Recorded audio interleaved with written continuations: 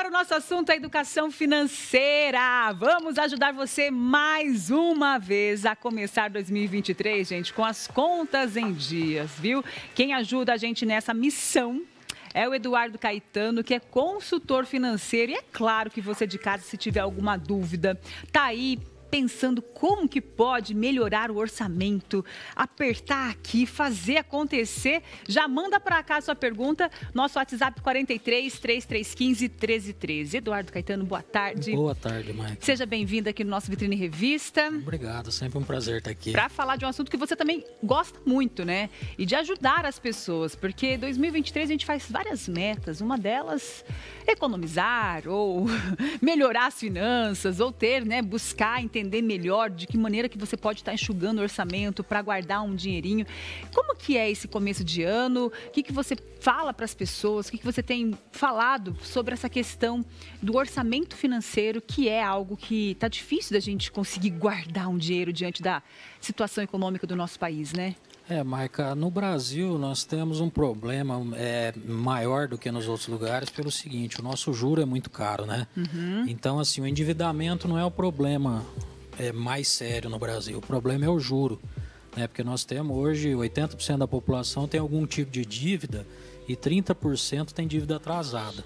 E esse atraso é que causa um, um, problema grande, porque o juro no nosso país é muito caro. É muito caro. Tudo é embutido, né? Se a gente for ver, você vai comprar um produto, ele se torna tem lugares que fora do país ele é mais barato, aqui dentro do nosso país ele é mais caro. É, são todos juros, impostos que são embutidos nisso e a gente acaba ficando é, de mãos atadas e acaba comprando é, aqui mesmo e parcela, e parcela, e vai parcelando no cartão a rolê, né? Eduardo, a gente tem umas telinhas aqui, pedir para a produção colocar que vai ajudar, que são dicas para a gente estar tá orientando o pessoal de casa. A gente já falou sobre esse assunto, a gente sempre traz novamente à tona esse tipo de assunto, porque é onde a gente consegue educar as pessoas ah, através da entrevista que a gente realiza aqui. Então, Sim. descubra para onde vai o seu dinheiro. Essa, acho que essa dica aí é, é sensacional, para começar a entender o que está acontecendo com a sua situação financeira. Marca, esse talvez seja um dos maiores calos que nós temos na educação financeira porque 95% das pessoas que a gente pergunta, ela sabe quanto ganha, mas ela não sabe o quanto gasta, tá? Então, se eu pedir para você hoje fazer uma lista, te der um papel de quanto você gasta, hum. provavelmente você vai errar e bastante, tá? Uhum. Então, é essa educação que a gente não tem, de qualificar, de, de separar o que, que a gente gasta, tá? Eu confesso que eu até comecei no, começo, no início do ano, né? Colocar no celular, tipo, abasteci tanto, 200, né? Abasteci lá. Uhum. É, ah, é, é sair tanto, festa, coloca, né? Festa, Isso, né? É. Lazer. Mas aí a gente esquece. Aí você vai na correria do dia a dia, aí você acaba esquecendo de colocar. Mas isso é muito importante para você entender de que maneira que você pode gerir melhor o seu dinheiro. Exatamente. Hoje nós temos é, muito banco digital, facilita bastante, tá, Maica? Se você criar uma conta à parte, por exemplo, que eu faço é o seguinte: eu tenho uma, um, um projetinho que chama é, Família Empresa. Então, assim, gerir a sua família, o seu salário, a sua renda como uma empresa, né? Uhum. Porque na empresa a gente contrata um contador, a gente contrata um financeiro, e em casa é tudo, né? Vamos que vamos, né? Então, assim, gerir realmente como uma empresa. O que, que é o seu custo, realmente custo, o que, que é o básico ali e o que, que sobra, né? Porque a pessoa acha, ah, eu ganho 5 mil, meu salário é 5 mil, mas tem que tirar o bruto, né? Tem que tirar Ver o que, que, que sobra de líquido, né? Mensais, né? Porque tem o, tem o custo fixo, né? Que seja um aluguel, um financiamento, um imposto, né? Toda essa conta a gente tem que colocar no, quanto fi, no, no, no custo fixo e ver o que realmente sobra. Essa é a maior dificuldade do brasileiro, né? Achar, encontrar o que sobra. Isso, exatamente. isso, é, isso é difícil, né? Encontrar o que sobra. Ela, ela deu risada aqui, né? Não é fácil, né, Laís? Não, você, tem, é, você tem habilidade é para arrumar, ajustar suas contas? Você coloca tudo certinho no papel, o leite condensado que você compra, como que é? Não, é difícil, eu, eu né? controlo muito a minha empresa, o que eu vendo, o que eu pago, o que eu recebo, mas as minhas contas pessoais, pessoais não, mas o Rafa, ele é um bom administrador. Que bom, sorte é tua. Minha sorte, tem alguém para cuidar do dinheiro de casa. Sempre é importante, né, contar com alguém, né? Bom, descobrir para onde vai o seu dinheiro é a primeira dica aqui para você. Agora vamos para o próximo passo, né? Troque dívidas caras por dívidas baratas. Como assim? É o que a gente estava falando de cartão de crédito, por exemplo, né? Cartão de crédito, cheque especial, o juro é muito alto. Absurdo. Eu, eu até falo que é impagável, tá? Uhum. Porque se você não pagar a primeira do cartão, esperar pagar o mínimo, você nunca mais paga. Tá? No Brasil acontece isso, porque o juro é exorbitante ao extremo, assim. As pessoas não se enrolam como. todo, né? Virou uma então, bola de assim, neve. É, exatamente. Então, se você tiver capacidade de pegar um empréstimo, por exemplo, ou com um familiar, ou com uma, uma instituição financeira que tem uma parcela fixa que caiba no seu orçamento, né? Porque às vezes a pessoa fala assim, ah não, mas eu não quero pagar juro, eu quero pagar pouco juro. Mas às vezes uma parcela de mil reais não cabe. Uhum. Né? Às vezes estende um pouquinho o prazo, faz uma parcela de 200, 300, 400, com o juro fixo, com o número de parcela fixa, que é muito mais viável do que você ficar deixando o cartão de crédito para trás. Né? Então você troca um juro muito alto por um juro um pouco menor. Ah, então é questão do juro, trocar, é, em vez de ficar lá deixando é. o cartão, e parcelar vezes, o cartão, isso, é melhor fazer um empréstimo. E às vezes o cartão, mil, dois, três, quatro mil, você não vai pagar mais.